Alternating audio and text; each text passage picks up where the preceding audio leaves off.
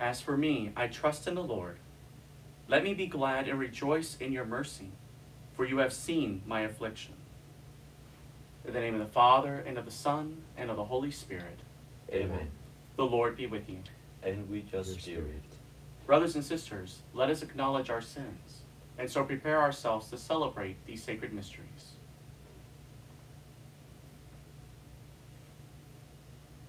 You were sent to heal the contrite of heart. Lord, have mercy. Lord, have mercy. You came to call sinners. Christ, have mercy. Christ, have mercy. You are seated at the right hand of the Father to intercede for us. Lord, have mercy. Lord, have mercy.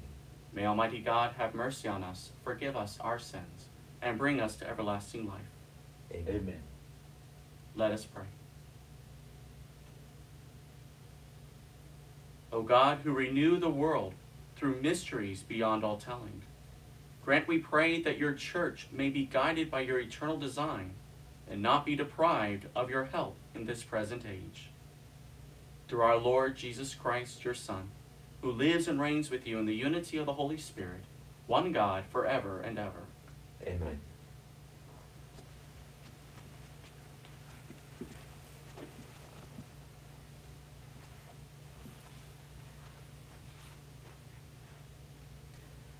A reading from the book of the prophet Isaiah.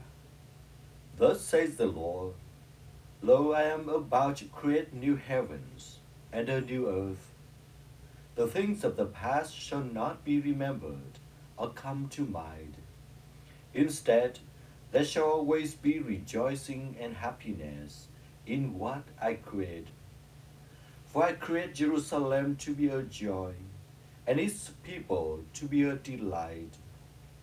I will rejoice in Jerusalem and exalt in my people. No longer shall be sound of weeping be heard there, or the sound of crying. No longer shall there be in it an infant who lives but a few days, or an old man who does not round out his full lifetime. He dies a mere youth who reaches but a, a hundred years and he who fails of a hundred, a hundred shall be thought accursed. They shall live in the houses they build, and eat the fruit of the vineyards they plant. The word of the Lord. Thanks, be to God. I will praise you, Lord, for you have rescued me. I will, I will praise you, Lord, for you have rescued me. I will exalt you, O Lord, for you drew me clear, and did not let my enemies rejoice over me. O Lord, you brought me up from the nether world. You preserved me from among those going down into the pit. I will, I will praise you, Lord, for you, have, have rescued, rescued me. Sing praise to the Lord, you his faithful ones, and give thanks to his holy name. For his anger lasts but a moment, a lifetime his good will. A nightfall weeping enters in, but with the dawn rejoicing. I will, I will praise you, Lord, for you have rescued me. Hear, O Lord, and have pity on me. O Lord, be my helper. You change my mourning into a dancing, O Lord my God. Forever will I give you thanks. I will praise you, Lord, for you have rescued me.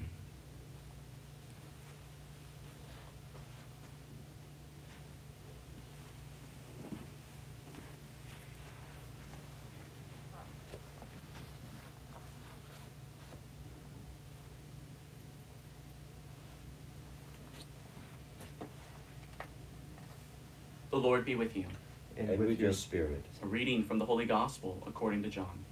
Glory to you, Lord.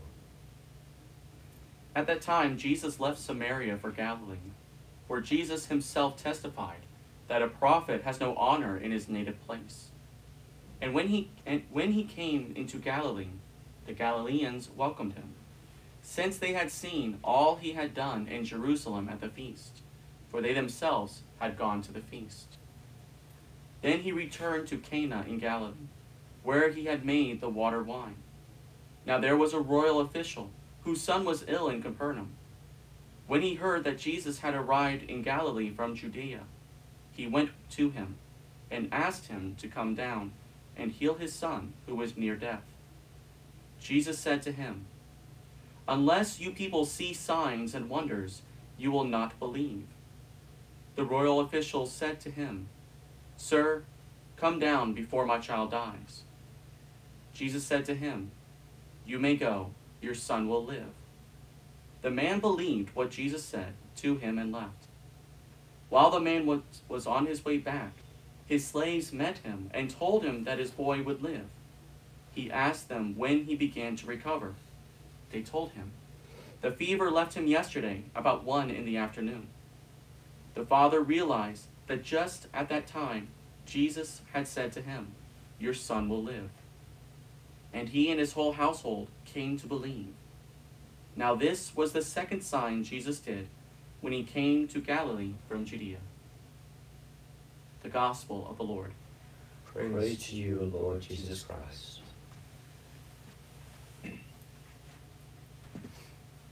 Our Lord says, Unless you people see signs and wonders, you will not believe. And then in the Gospel, the royal official, trusting in God's word, trusting in the words of Jesus, returned home. But in between that time of him leaving Jesus and encountering his slaves, he was left, in a sense, in a type of darkness.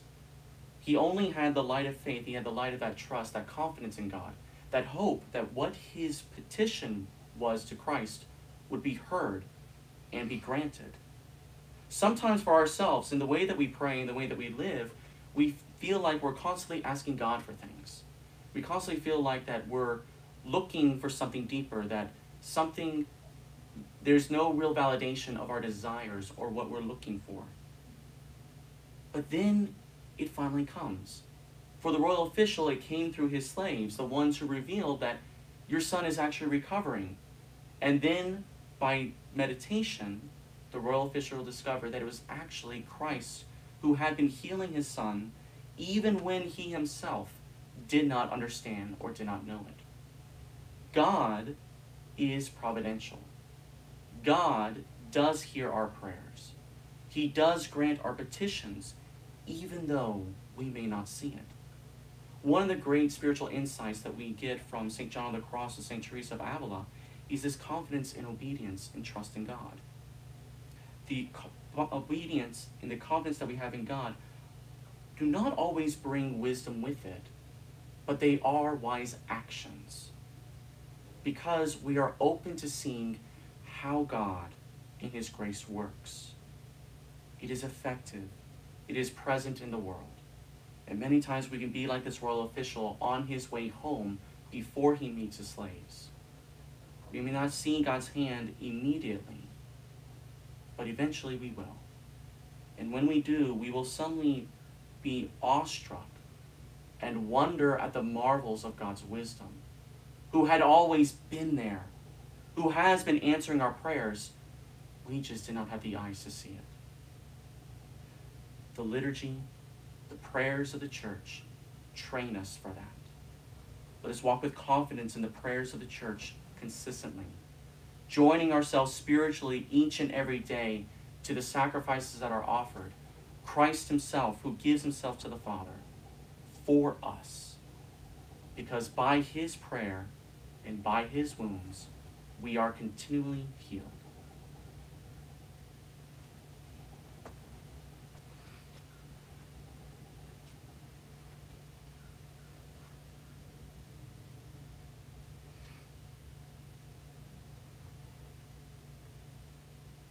With confidence in the providential care of our Heavenly Father, we offer our needs and our petitions.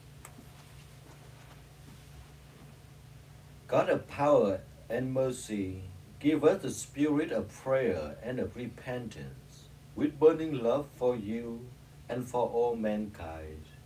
We pray to the Lord. Lord, Lord hear our prayer. Help us to work with you in making all things new in Christ, and in spreading justice and peace throughout the world. We pray to the Lord. Lord, hear our prayer. Teach us the meaning and value of creation, so that we may join its voice to ours as we sing your praise. We pray to the Lord. Lord, hear our prayer. Forgive us for failing to see Christ in the poor, the distressed, and the troublesome, and for our failure to, to revengeance your Son in their persons. For our failure to reverence your Son in their persons, we pray to the Lord. Lord, hear our prayer. Lord, you granted the petition of the royal official. Grant us the same perseverance and faith, that we may behold your healing grace. We make this prayer through Christ our Lord. Amen.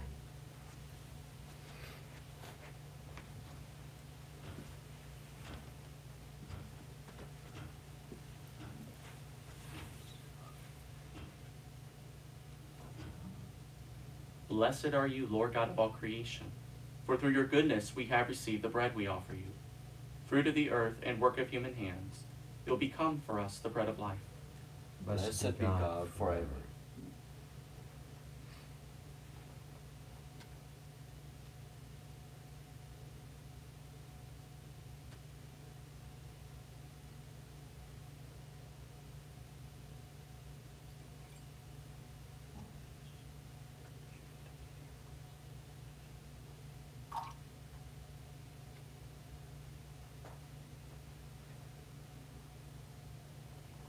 Blessed are you, Lord God of all creation, for through your goodness we have received the wine we offer you.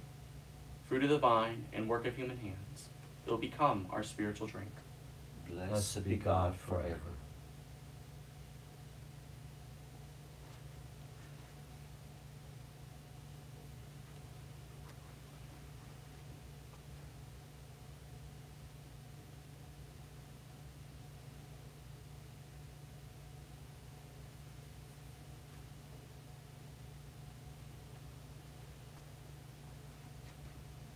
Pray, brothers and sisters, that my sacrifice and yours may be acceptable to God, the Almighty Father. May the Lord accept the sacrifice at your hands for the praise and glory of his name, for our good and good of all his holy church. May we receive, O Lord, we pray, the effects of this offering dedicated to you, so that we may be cleansed from old earthly ways and be renewed by growth in heavenly life. Through Christ our Lord. Amen.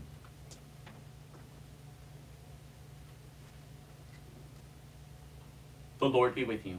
And with your spirit, Lift up your hearts. we lift them up to the Lord. Let us give thanks to the Lord our God. It is right and just. It is truly right and just, our duty and our salvation, always and everywhere to give you thanks, Lord, Holy Father, Almighty and Eternal God. For you have given your children a sacred time for the renewing and purifying of their hearts, that freed from disordered affections, they may so deal with the things of this passing world as to hold rather to the things that eternally endure. And so, with all the angels and saints, we praise you as without end we acclaim. Holy, holy, holy, Lord God of hosts, heaven and earth are full of your glory. Hosanna in the highest. Blessed is he who comes in the name of the Lord. Hosanna in the highest.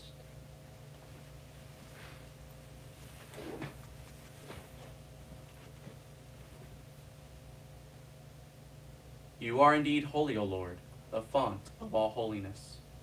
Make holy, therefore, these gifts, we pray, by sending down your Spirit upon them like the dewfall, so that they may become for us the body and blood of our Lord Jesus Christ. At the time he was betrayed and entered willingly into his passion, he took bread, and giving thanks, broke it, and gave it to his disciples, saying, Take this, all of you, and eat of it. For this is my body, which will be given up for you.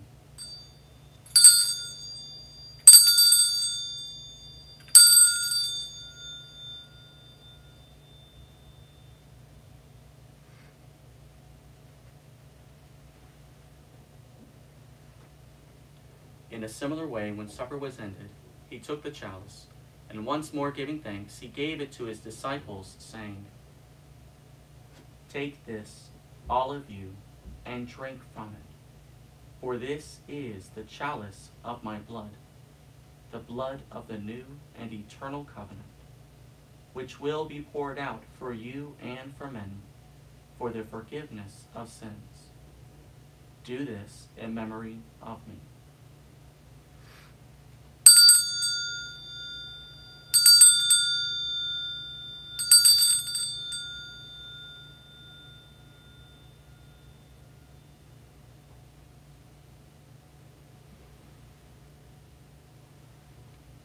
The mystery of faith.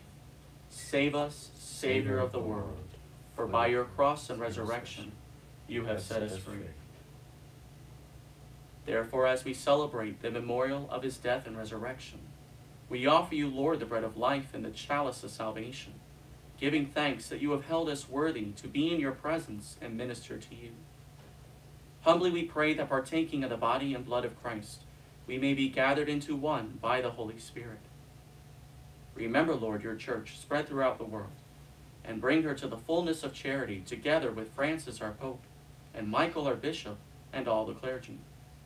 Remember also our brothers and sisters, who have fallen asleep in the hope of the resurrection, and all who have died in your mercy. Welcome them into the light of your face.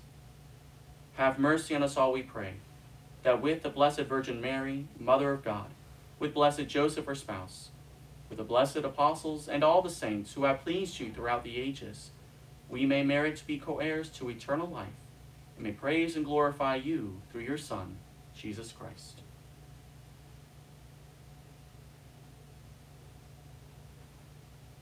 Through him, and with him, and in him, O God Almighty Father, in the unity of the Holy Spirit, all glory and honor is yours forever and ever. Amen. Amen.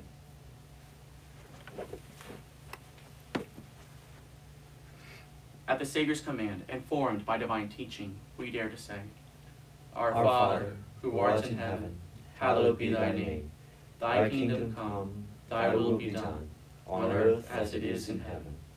Give us this day our daily bread, and forgive us our trespasses, as we forgive those who trespass against us. And lead us not into temptation, but deliver us from evil. Deliver us, Lord, we pray, from every evil. Graciously grant peace in our days, that by the help of your mercy we may be always free from sin and safe from all distress, as we wait the blessed hope and the coming of our Savior, Jesus Christ. For the kingdom, the power, and the glory are yours, now and forever. Lord Jesus Christ, who said to your apostles, Peace I leave you, my peace I give you, look not on our sins, but on the faith of your church, and graciously grant her peace and unity in accordance with your will, who live and reign forever and ever. Amen. The peace of the Lord be with you always. And with your spirit. Let us offer each other the sign of peace.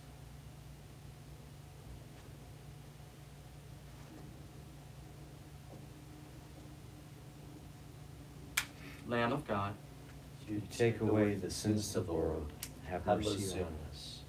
Lamb of God, you take take away the sins of the world, have mercy on us.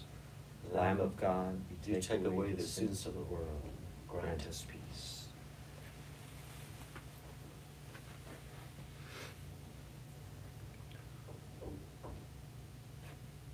behold the Lamb of God.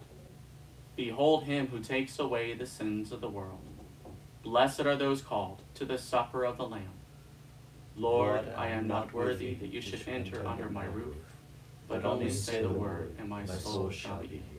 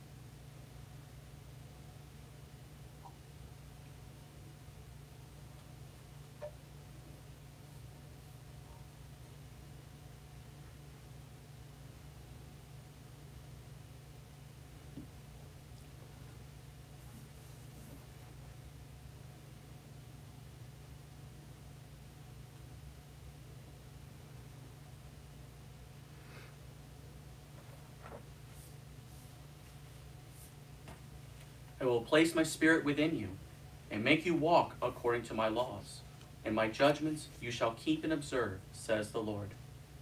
The act of spiritual communion. My Jesus, I believe that you are present in the most holy sacrament. I love you above all things, and I desire to receive you into my soul. Since I cannot at this moment receive you sacramentally, come at least spiritually into my heart. I embrace you as if you were already there, and unite myself wholly to you. Never permit me to be separated from you. Amen. Let us pray.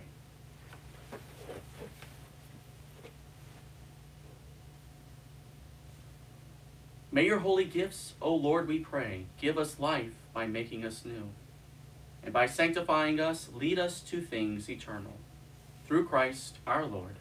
Amen. The Lord be with you. And with your spirit. May Almighty God bless you, the Father, and the Son, and the Holy Spirit. Amen. Go forth, the Mass is ended. Thanks be to God. Saint Michael, the Archangel, Defend us in battle.